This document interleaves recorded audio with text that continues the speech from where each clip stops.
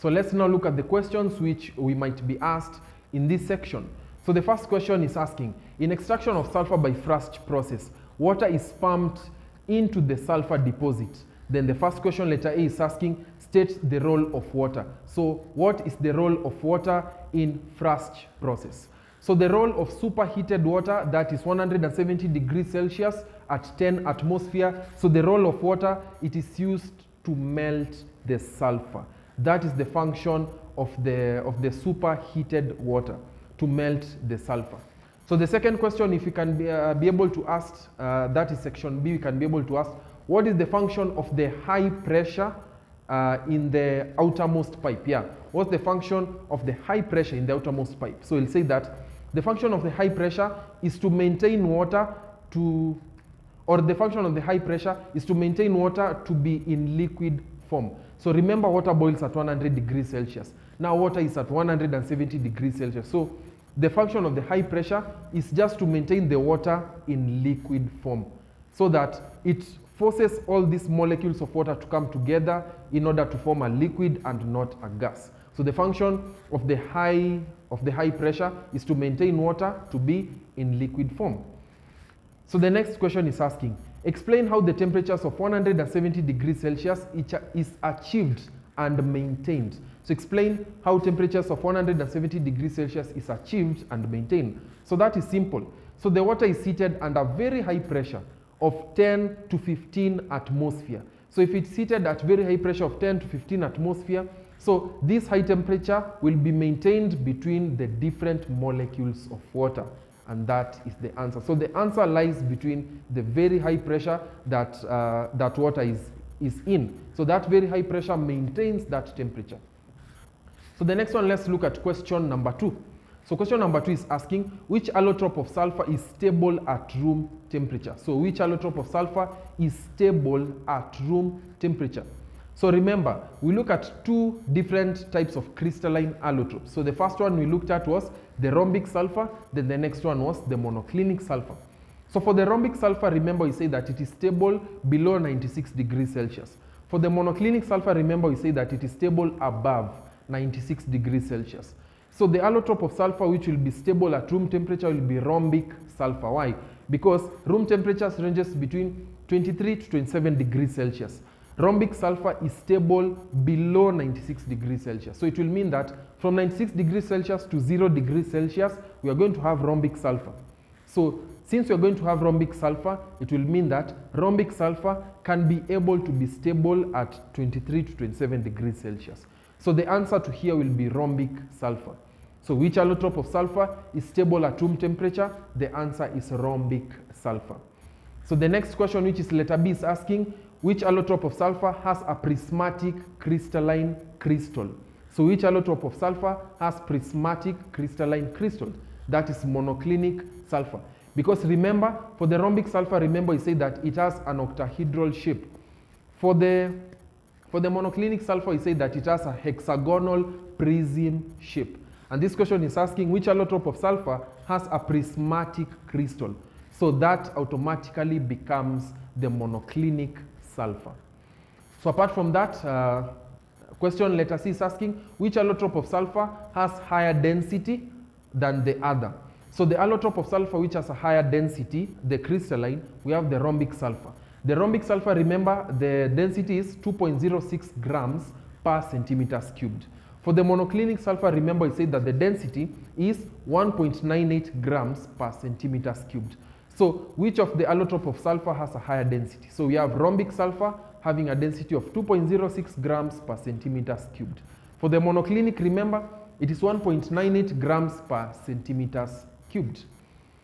So apart from that, let's look at uh, question number three. So the question number three is asking, a small amount of sulfur was bound in a deflagrating spoon, as you can see. So a, a small amount of sulfur was burnt in a deflagrating spoon. So the burning sulfur was then lowered in a gas jar full of oxygen. So we had a deflagrating spoon, then we burned sulfur in a gas jar full of oxygen. So the first question is asking, write an equation for the reaction which took place. So the question is asking a small amount of sulfur was burned in a deflagrating spoon. So the burning sulfur was then lowered in a gas jar full of oxygen. Write an equation for the reaction. So this is simple. Sulfur is reacting in oxygen. So sulfur plus excess oxygen, we are going to get sulfur 4 oxide, which is SO2. So apart from that question, uh, letter B is asking, the product formed is then dissolved in water. State the effects of the resulting solution in a litmus paper. So if you dissolve sulfur 4 oxide inside water, we are going to get an acidic solution. So it will mean that the blue litmus paper changes color to red, while the red litmus paper color will remain to be red.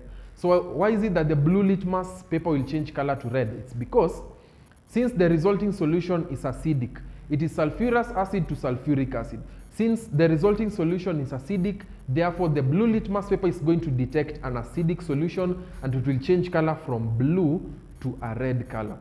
The red litmus paper will not be interfered with anyhow because the red litmus paper indicates an acidic solution. So since it will remain red, it will indicate that that is, uh, that is an acidic solution. Since blue will change to red, it will also indicate that that is an acidic solution. So if you have been given such a question in an exam, don't base your answers on only one type of litmus paper. Base your answer uh, based on the two litmus papers. So say the blue litmus paper will change to this color and the red will remain that color. That is right. Avoid saying that the blue litmus paper will change color to red, then leave your answer like that. Also tell us what will happen to the other litmus paper in order for you to score the full marks of the question. So question number four is asking, study the chart below and uh, answer the question that follow. So it's a chart and then this chart you are going to follow the chart in order to get all the answers whereby all the answers should be. So question letter A is asking, uh, identify solid labeled A. So let's first of all interact with the chart. So for the chart we see that we have sulfur reacting with solid A and then we have step 1 and then we have a black solid and then we are going to have step 2 as you can see we're going to have step 2 and then from step 2 we have that compound and then we have gas E then sulfur plus water. So identify solid A. So solid A remember we are reacting sulfur with this solid A to get a black solid B. And then this black solid B if we react it in step 2 we are going to get iron 3 chloride. So since here we have iron 3 chloride, it will mean that sulfur is reacting with something iron in order now for us now here to get iron 3 chloride. Because as you can look at the chart, we have that chart. Sulfur is reacting with solid A. We don't know what is solid A. And then for that solid A, we see that we have step 1, and then step 1 we have black solid B. So still we don't know what that black solid B is.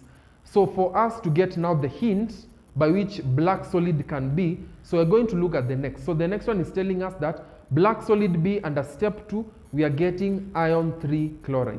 Now this ion tells us that there is some iron in this step. So in this step we have iron somewhere. So it takes us back to whereby sulfur is reacting. So you see that sulfur is reacting with uh, solid A in order to get the black solid B. So automatically it will mean that sulfur is reacting with iron fillings because in step 2 we are getting iron something. So if you're getting iron something it will mean that initially then sulfur reacted with iron, a compound of iron which we don't know. It reacted with a compound of iron so that here we now get iron 3 chloride. So automatically solid A now becomes iron fillings. So sulfur is then reacting with iron fillings in step 1 in order for us to get the black solid B. So the next one we are now being asked identify the solid B. So if, I, if iron reacts with sulfur, we are going to get iron 2 sulfide. That is what, uh, that's what happens. So iron plus sulfur, we are going to get now the black solid B being iron to sulfide. So uh, let's go to the next question, which is Roman 3. It is asking, identify gas E. So where is gas E? Mm -hmm. Yeah, so identify gas E. So gas E, we see that we have iron 3 chloride plus gas E, and then we are going to get uh, sulfur plus water. So automatically gas E becomes hydrogen sulfide. So that is hydrogen sulfide, whereby if iron 3 chloride reacts with uh, hydrogen sulfide, we are going to get sulfur plus water in an exothermic reaction. So question letter B is asking, name the reagent used in step letter 2. So in step 2, which reagent was used in step 2? So remember here, we have um, iron 2 sulfide. So we have iron 2 sulfide. Iron 2 sulfide is reacting with something and then the resulting uh, product is iron 3 chloride. Iron 2 chloride rather, iron 2 chloride. So it will mean that now we have introduced chlorine. So since now we have introduced chlorine, it will mean that the reagent in step 2 is something chloride because we see that iron 2 sulfide, it's a sulfide. And then we don't know uh, the reagent, but the product has a chloride. So it will mean that in step 2, we are reacting a compound having chlorine. So if iron 2 sulfide reacts with hydrochloric acid, therefore we are going to get iron 3 chloride. So yeah, so we are going to get iron 3 chloride. So automatically it will mean that in step 2, the reagent automatically becomes hydrochloric acid, whereby the hydrochloric acid is now going to donate the chlorine. And then the hydrogen that's going to remain is going to react with the sulfur from the iron 2 sulfide to form the hydrogen sulfide, which is gas letter E. So that's, that's what happened basically in this chart. So remember how it began, sulfur reacting with iron. So if sulfur reacts with iron, we get iron 2 sulfide. So after getting iron 2 sulfide, iron 2 sulfide reacts with hydrochloric acid. So if iron 2 sulfide reacts with hydrochloric acid, we'll see that the iron is going to react with chlorine to get iron 2 chloride. The hydrogen is going to react with sulfur to get gas E, which is hydrogen sulfide. So that is, uh, that's what's going to happen in, in this diagram. So apart from that, we have question letter C is asking, state the condition under which sulfur and water are formed. So the condition under which sulfur and water is formed according to this chart, we see that we have burn and then letter X. So we see that there is limited supply of oxygen gas. So since there is limited supply of oxygen of oxygen gas, that's why you are going to get sulfur and water together because of the limited air or limited supply of oxygen gas in this experiment. So apart from that, let's go to question number five, which is also another flowchart. And then the question is asking, study the diagram below, study the diagram below and answer the questions that follow. So as we can see, that is a chart whereby we begin with solid A and then we, uh, we add conch sulfuric acid. Then below we have water, we have gas, uh, and then the chart continues. So the first question is asking, name solid letter A. So as you can see in the diagram, we have the flow chart. Uh, yeah, so in the diagram, we have the flow chart. So we have yellow solid A. So automatically, a yellow solid, that is sulfur.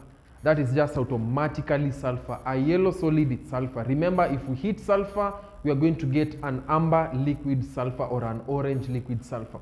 So the yellow solid A automatically is sulfur. So apart from that, Roman 2 is asking name gas B.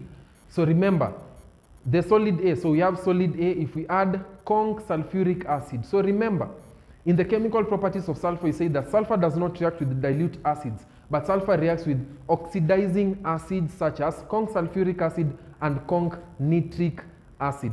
So it will mean that if sulfur reacts with conch sulfuric acid and nitric acid, we are bound to get sulfur 4 oxide gas and water being liberated. So in this case, we see that sulfur is reacting with conch sulfuric acid. So automatically, the first uh, answer we have been given that the first answer is water. So what is gas E? So gas E automatically becomes sulfur 4 oxide. So that is sulfur 4 oxide.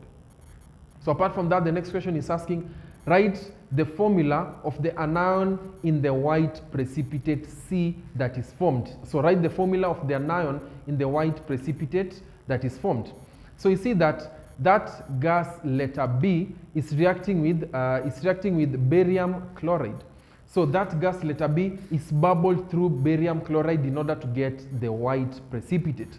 So that's why this question is asking, write uh, the formula of the anion formed in the white precipitate. So the anion formed in this white precipitate will be a sulfite, sulfite which is SO3 2 minus. So that is the anion. So the anion, remember, is a negatively charged ion. So a cation, remember, is a positively charged ion. Like for example, for the cations positively charged, we have any metal, potassium, we have calcium, we have sodium. So a positively charged ion is called a cation. A negatively charged ion is called an anion. So in this case, this question is asking, write the formula of the anion in the white precipitate. So the negatively charged ion.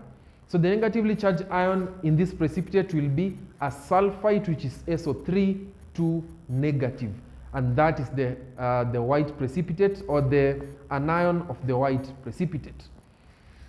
So apart from that, the last question is asking, dilute nitric acid is added to the white precipitate labeled C that you have just, uh, that you have just uh, mentioned. So dilute nitric acid is added to the white precipitate C. Write an equation for this, uh, for the reaction that takes place.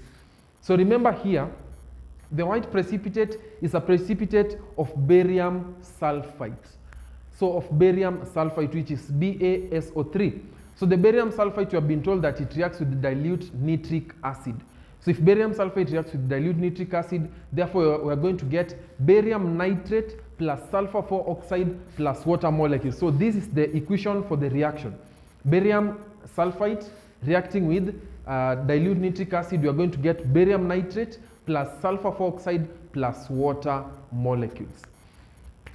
So that is that in that question. So remember, the white precipitate is the barium sulfite.